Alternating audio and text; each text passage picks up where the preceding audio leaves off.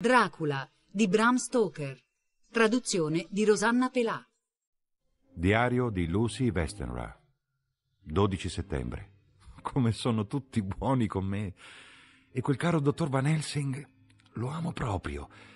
Chissà perché si è agitato tanto per quei fiori. Mi ha decisamente spaventata con la sua severità. Eppure doveva avere ragione perché già mi hanno dato giovamento. Non so perché non ho paura di stare sola questa notte.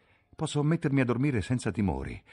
Non mi preoccuperò di nessun rumore fuori dalla finestra. Oh, che terribili lotte contro il sonno ho dovuto sostenere spesso in questi ultimi tempi, la sofferenza dell'insonnia e la sofferenza provocata dalla paura del sonno, che per me riserva ignoti terrori.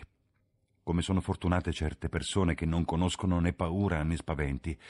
Per loro il sonno è una benedizione che arriva ogni notte arrecando soltanto dolci sogni. Ebbene, stasera sono qui, piena di speranza di dormire giacente come Ofelia nella tragedia, con eh, verginali ghirlande e fanciulleschi fiori sparsi. L'aglio non mi è mai piaciuto, ma questa notte mi sembra delizioso. Il suo odore emana pace. Sento già venire il sonno. Buonanotte a tutti. Diario del dottor Seward, 13 settembre. Sono andato al Berkeley, dove ho trovato Van Helsing puntuale come al solito. La carrozza ordinata dall'albergo ci aspettava. Il professore ha preso la sua borsa, che ora porta sempre con sé. Vediamo di riferire i fatti con ordine. Siamo arrivati a Hillingham alle otto. Era una bellissima mattinata, il sole splendeva e tutte le fresche sensazioni dell'autunno agli inizi sembravano completare l'opera annuale della natura. Già le foglie prendono ogni sorta di stupendi colori, ma ancora non hanno cominciato a cadere dagli alberi. Entrando in casa abbiamo incontrato la signora Westenra che usciva da un salotto perché ha l'abitudine di alzarsi presto. La signora ci ha accolti con calore e ha detto Vi farà piacere sapere che Lucy sta meglio. Ero in ansia per la mia povera bambina questa notte e sono andata in camera sua. Dormiva profondamente, tanto profondamente che non l'ho neppure svegliata entrando. Ma l'aria nella stanza era terribilmente viziata. Dappertutto erano sparsi quegli orrendi fiori dall'odore così acre e lei ne aveva addirittura un mazzo sul collo. Temendo che quel puzzo fosse troppo forte per la cara piccola, date le sue condizioni di debolezza, li ho portati via tutti e ho aperto un poco la finestra per lasciare penetrare dell'aria pura. Sono certa che la troverete molto bene. Detto questo, è andata nel suo studiolo, dove usualmente fa colazione presto. Mentre parlava io avevo tenuto d'occhio il viso del professore e l'ho visto diventare color della cenere. Van Helsing era riuscito a dominarsi in presenza della povera signora perché conosceva il suo stato e si rendeva conto del danno che un trauma avrebbe potuto arrecarle. È arrivato perfino a sorriderle nell'aprirle la porta del salotto. Ma non appena la signora se n'è andata mi ha subito spinto con energia nella sala da pranzo di cui ha chiuso l'uscio. Allora, per la prima volta nella mia vita, ho visto Van Helsing crollare. Ha alzato le mani sopra la testa in un gesto di muta disperazione si è battuto le palme una contro l'altra, angosciato della sua impotenza. Infine si è abbattuto su una sedia e, nascondendosi il viso tra le mani, si è messo a piangere, con singhiozzi forti, secchi, che sembravano venire dallo strazio del suo cuore. Poi, sollevando di nuovo le mani, come se facesse appello all'universo intero, ha esclamato Dio, Dio, Dio. Che cosa abbiamo fatto? Che cosa ha fatto quella povera creatura? Perché tanta afflizione attacca noi? Tra noi è dunque ancora il fatale destino che viene da antico mondo pagano e fa che accadono queste cose in questa maniera. D'un tratto è balzato in piedi. Venite, mi ha detto. Venite. Noi dobbiamo vedere e agire. Diavoli o non diavoli, o tutti diavoli insieme, non importa, noi combattiamo lui lo stesso. È andato in anticamera a prendere la sua borsa e insieme siamo saliti nella camera di Lucy. Anche questa volta ho alzato la tenda mentre Van Helsing si accostava al letto. Non ha sussultato alla vista di quel povero volto soffuso del terrificante cereo pallore, lo stesso di due giorni prima. La sua espressione era di severa tristezza e di infinita pietà. Come mi aspettavo, ha mormorato, inspirando il fiato con quel sibilo tanto espressivo. Senza una parola è andato a chiudere la porta. Poi ha cominciato subito a sistemare sul tavolino gli strumenti necessari per un'altra trasfusione di sangue. Avendone già previsto l'urgenza, io stavo togliendomi la giacca, quando il professore mi ha fermato con un gesto di avvertimento. No, ha detto. Oggi voi dovete operare. Sangue provvedo io, voi siete già indebolito. E intanto si levava la giacca e si arrotolava una manica della camicia. Di nuovo un intervento, di nuovo una narcosi, di nuovo un certo ritorno di colore sulle guance smunte e la respirazione regolare di un sonno benefico. Questa volta sono stato io a occuparmi di tutto mentre Van Helsing si riprendeva e riposava. The Pall Mall Gazette, 18 settembre. Il lupo fuggito. Pericolosa avventura del nostro corrispondente. Intervista al guardiano del giardino zoologico. Dopo molte richieste di informazioni e quasi altrettanti rifiuti, e usando costantemente le parole Pall Mall Gazette come una sorta di talismano, sono riuscito a trovare il guardiano della sezione del giardino zoologico dove è sito il reparto lupi. Thomas Bilder abita in una delle casette incluse nel recinto, dietro la casa dell'elefante, e stava prendendo il tè quando sono andato da lui. Thomas e sua moglie sono gente ospitale, anziani e senza figli, e se il saggio dell'ospitalità che ho goduto costituisce per loro la norma, devono condurre una vita abbastanza agiata. Il guardiano non ha voluto parlare di quelli che lui definisce affari, finché non abbiamo terminato il pasto e ci siamo sentiti tutti sazi. Dopo che la tavola è stata sparecchiata, si è acceso la pipa e ha detto: Va bene, capo. Adesso vi conto tutta la storia. Qui ci avevamo un lupo che noi lo chiamavamo Bersiker. Era uno dei tre grigi arrivati a Jamrek dalla Norvegia, che noi li abbiamo comprati quattro anni fa. Era un simpatico lupo, ben educato, che non ha mai dato fastidi, che vale la pena di parlarne. Sono sorpreso che lui ha voluto scappare molto più che se lo faceva un altro animale di questo posto, ma vedete, non si può fidarsi dei lupi, come neanche delle donne. Non fategli caso, signore, ha esclamato sua moglie con un'allegra risata. È talmente tanto che sta in mezzo alle bestie che anche lui è diventato come un vecchio lupo. Però non fa mica male. Bene, signore. È stato ieri, due ore dopo il mangiare, che ho sentito che qualcosa non andava bene. Io stavo lì nella casa delle scimmie a preparare una lettiera per un piccolo puma che è malato. Ma quando ho sentito strillare e ugiolare ho corso subito lì. C'era Bersiker e tirava come un matto le sbarre, come se voleva uscire. C'era poca gente in giro, e lì, vicino, solo un uomo, un tipo alto, magro, con il naso a becco e la barba punta, che ci aveva dentro un po' di fili bianchi, ci aveva uno sguardo duro e freddo, gli occhi rossi. Subito l'ho avuto in antipatia, perché sembrava che era lui che faceva arrabbiare i lupi. Aveva guanti bianchi, di capretto sulle mani, ha indicato le bestie, ha detto «Guardiano, questi lupi sembrano agitati da qualche cosa». Forse da voi, ci rispondo io, perché non mi piaceva le arie che si dava. Ma lui non si è arrabbiato come speravo io, ma ha fatto un sorriso insolente, una bocca piena di denti bianchi aguzzi. Eh no, io a loro non piaccio, ha detto. Oh sì che ci piacete, ci ho risposto io imitandolo. A loro ci piace sempre un osso o due per pulirsi i denti all'ora del tè, e voi di ossa ce ne avete un sacco. Bene, è proprio una cosa strana, ma quando le bestie hanno visto che noi si parlava insieme si sono messe giù tranquille e quando io mi sono avvicinato a Bersiker, lui si è lasciato grattare le orecchie, come sempre. Poi è venuto l'uomo, e che mi viene un accidente se non è vero. Anche lui ha messo dentro la mano e ha caressato le orecchie del vecchio lupo. Fate attenzione, ho detto. Bersiker è svelto. Non vi preoccupate, dice lui, io sono abituato ai lupi. Ah, siete anche voi del ramo? Ci ho domandato io e mi sono cavato il berretto perché uno che commercia in lupi è un buon amico per i guardiani. No, ha risposto lui, non proprio nel ramo, ma ne ho addomesticati tanti. E su questo si è levato il cappello che pareva un vero lord e se n'è andato. Il vecchio Bersicher è rimasto lì a fissarlo finché non è più stato in vista. Poi è andato a sdraiarsi in un angolo e non ha più voluto muoversi per tutta la sera. Bene, ieri notte. Appena è venuta su la luna, i lupi hanno cominciato a ululare. Non c'era niente da ulularci dietro. Vicino non c'era nessuno, tranne uno che stava a chiamare un cane da qualche parte dietro ai giardini di Park Road.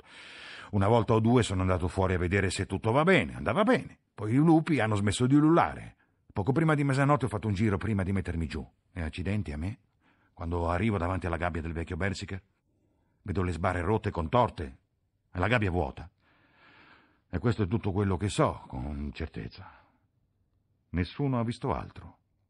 Circa quell'ora uno dei nostri giardinieri tornava a casa da una festa e ha visto un grosso cane grigio venire fuori dalla siepe del giardino. Almeno lui dice così. Ma io non ci credo mica tanto perché lui non aveva detto una parola alla sua signora quando è tornata a casa e solo dopo che si è saputo che il lupo era scappato e noi siamo stati a dargli la caccia al vecchio Bersiker nel parco per tutta la notte, a lui ci è venuto in mente che aveva visto qualcosa, ma io credo che la festa ci ha dato la testa, invece. Signor Bilder, lei si spiega in qualche modo la fuga del lupo?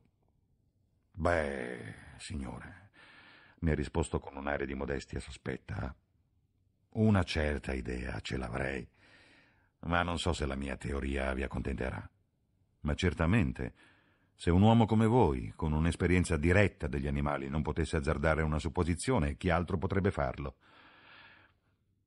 Allora ecco, signore, io me lo spiego così. A me mi pare che se quel lupo è scappato è perché voleva andarsene. Dall'allegra risata in cui sono scoppiati Thomas e sua moglie, ho capito che la battuta era già stata sfruttata e che la spiegazione voleva essere semplicemente un elaborato scherzo. Non potendo rivaleggiare in cieli con il valoroso Thomas e credendo di non conoscere una via più sicura per arrivare al suo cuore, gli ho detto Via, signor Bilder. Considereremo consumata quella mezza sovrana. Qui c'è sua sorella che aspetta di mettersi con lei, non appena mi avrete detto come pensate che andrà a finire la faccenda. Giusto, signore, ha esclamato Thomas con vivacità. Voi mi scusate, lo so, perché io vi ho scherzato un po', ma la vecchia qui mi ha strizzato l'occhio, era come incoraggiarmi ad andare avanti. Io? Questa poi? ha protestato sua moglie. Io la vedo così. Il lupo si nasconde da qualche parte. Il giardiniere che non ricorda dice che galoppava verso nord più in fretta di quello che può correre un cavallo, ma io mica ci credo, perché vedete, signore, i lupi non galoppano più di un cane, non sono mica fatti per correre. I lupi sono una bella roba in un libro di favole e io vi posso dire che quando sono in branco e danno la caccia a qualche cosa che c'è ancora più paura di loro, possono fare un baccano del diavolo e farla a pezzi quella cosa, qualunque cosa è. Ma Dio vi benedica, nella vita normale il lupo è solo una bestia inferiore, senza neanche metà dell'intelligenza e del coraggio di un buon cane, e neanche messo quarto della sua capacità combattiva. Questo qui non è abituato a combattere né a provvedere a se stesso, così è probabile che, che, che si nasconda in qualche parte qui nel parco e trema di paura. Se è capace di pensare, pensa dove può andare a prendersi la sua colazione, o forse se è sceso giù in un altro posto, in qualche cantina. Che filo si prenderà qualche cuoca quando vedrà i suoi occhi verdi brillare nel buio? Certo, se lui non riesce a trovare qualche cosa da mangiare dovrà andare a cercarlo. E a un certo momento può anche andare a finire in una macelleria, se no, e capita che una bambinaia se ne va a passeggio con un soldato lasciando il piccolo nella sua carrozzina. Beh, allora non mi stupirei se il censimento conta un bambinetto di meno. ecco tutto.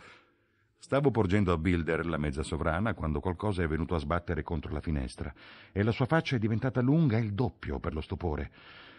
Che mi venga un accidente se questo non è il vecchio Bersi che, che torna per conto suo. È andato verso la porta e l'ha aperta.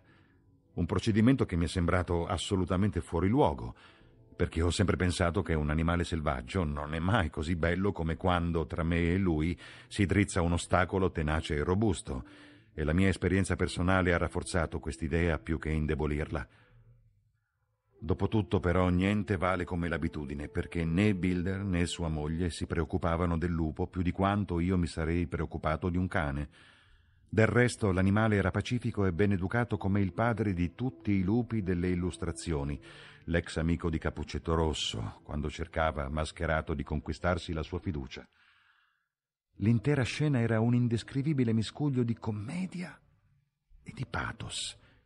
Il lupo cattivo che aveva paralizzato Londra per mezza giornata e fatto tremare tutti i bambini della città era lì, in un atteggiamento quasi pentito e veniva accolto e vezzeggiato come una specie di figliol prodigo in veste volpina. Il vecchio Builder l'ha esaminato completamente con la più tenera sollecitudine e terminata l'analisi del suo penitente ha detto Ecco, lo sapevo io che il povero vecchio si andava a ficcare in qualche pasticcio, non seguitavo mica a dirlo. Ha tutta la testa tagliata e piena di pezzi di vetro. Deve essere andato su qualche maledetto muro o qualche altra roba. È una vergogna che alla gente gli lasciano mettere bottiglie rotte sui muri. E così succede questo. Vieni, vieni, vieni, vieni, Bersiker. Ha preso il lupo e lo ha chiuso in una gabbia, insieme con un pezzo di carne, che almeno come quantità soddisfaceva i principi fondamentali del vitello grasso. Poi è andato a fare rapporto. E sono andato anch'io a stendere il mio rapporto l'unica notizia in esclusiva fornita oggi sulla strana fuga di un lupo dallo zoo. Nota lasciata da Lucy Westenra. 17 settembre. Notte. Scrivo questa nota e la lascio bene in vista in modo che nessuno abbia a incorrere in eventuali guai per causa mia. Questo è il resoconto esatto di quanto è accaduto questa notte. Mi sento morire di debolezza e ho a malapena la forza di scrivere, ma lo devo fare, anche a costo della vita. Malignamente il sonno mi assillava proprio quando non lo volevo. Così, temendo di essere sola, ho aperto la porta e ho chiamato. C'è nessuno? Non ho avuto risposta. Per timore di svegliare la mamma, ho richiuso la porta. Poi ho sentito venire da fuori, tra i cespugli, una specie di ululato, come se fosse quello di un cane, ma più feroce, più profondo. Sono andata alla finestra per guardare fuori. Non ho visto nulla, tranne un grosso pipistrello che evidentemente era andato a sbattere con le ali contro la finestra. Sono quindi ritornata a letto, ma sempre decisa a non dormire. Subito dopo si è aperta la porta e la mamma ha dato un'occhiata e, accortasi dai miei movimenti che non dormivo, è entrata e si è seduta vicino a me. Mi ha detto, con una tenerezza anche maggiore del solito, non mi sentivo tranquilla per te, tesoro, e sono venuta a vedere se tutto andava bene. Dopo un po', tra i cespugli si è levato ancora quel basso ululato, e quasi subito un formidabile urto ha spaccato la finestra e una quantità di vetri rotti si sono sparsi sul pavimento. Una folata di vento ha spinto indietro la tenda e nell'apertura, tra il vetro infranto, è apparsa la testa scarna di un grosso lupo grigio. La mamma, lanciando un urlo di spavento e drizzandosi faticosamente a sedere, si è messa a cercare con affanno qualcosa per potersi difendere. Tra l'altro si è aggrappata alla ghirlanda di fiori che il dottor Van Helsing insiste a farmi tenere intorno al collo e me l'ha strappata. Per un attimo o due è rimasta a sedere, indicando il lupo. Poi dalla gola le è uscito un gorgoglio strano, orribile, ed è crollata come colpita dal fulmine. La sua testa ha battuto contro la mia fronte e per un momento io sono rimasta stordita. Sembrava che la stanza e tutto quanto mi circondava roteasse intorno a me. Tenevo gli occhi fissi sulla finestra e ho visto il lupo ritirare la testa. Poi mi è parso che una miriade di puntolini entrasse dalla finestra rotta, girando e volteggiando intorno come quelle colonne di sabbia che raccontano i viaggiatori si levano nel deserto quando soffia il Simon. Ho cercato di muovermi, ma era come se un incantesimo pesasse su di me e il corpo della mia povera, cara mamma, che già cominciava a raffreddarsi perché il suo cuore aveva cessato di battere, mi gravava addosso. E per un poco ho perduto la conoscenza. I rumori evidentemente avevano svegliato anche le cameriere perché ho sentito i loro piedi scalzi scalpicciare dietro la mia porta. Al mio richiamo sono entrate e quando hanno visto quello che era successo e che cosa giaceva sopra di me nel letto, si sono messe a urlare. Il vento, soffiando attraverso la finestra rotta, ha fatto sbattere la porta. Le donne hanno sollevato il corpo della mia cara madre e dopo che io mi ero alzata l'hanno disteso sul letto e coperto con un lenzuolo. Erano tutte talmente spaventate e nervose che ho ordinato loro di scendere in sala da pranzo a bere un bicchiere di vino. La porta si è spalancata per un attimo, poi ha sbattuto di nuovo e le cameriere hanno ricominciato a strillare, poi sono scese insieme in sala da pranzo. Io ho deposto tutti i fiori che avevo sul petto della mia cara mamma. Subito dopo mi sono venute in mente le raccomandazioni del dottor Van Helsing, ma togliere i fiori mi dispiaceva e inoltre una delle domestiche avrebbe vegliato con me. Stupita di non vederle ritornare, le ho chiamate e non ricevendo risposta sono scesa a cercarle in sala da pranzo. Mi sono sentita mancare quando ho visto quello che era successo. Tutte e quattro giacevano inerti sul pavimento, il respiro pesante. La caraffa dello sherry, piena per metà, era sulla tavola. Ma c'era nell'aria uno strano odore acre. Insospettita ho esaminato la caraffa. Sapeva di laudano. Guardando sulla credenza, ho scoperto che la bottiglietta di laudano, quella che il medico della mamma usa per lei, usava era vuota. Che cosa devo fare? Che cosa devo fare? Sono di nuovo in camera con la mamma, non posso lasciarla e sono sola, escluse le domestiche che dormono, perché qualcuno le ha drogate. Sola con la morta. Non oso uscire perché sento il cupo ululato del lupo fuori dalla finestra rotta.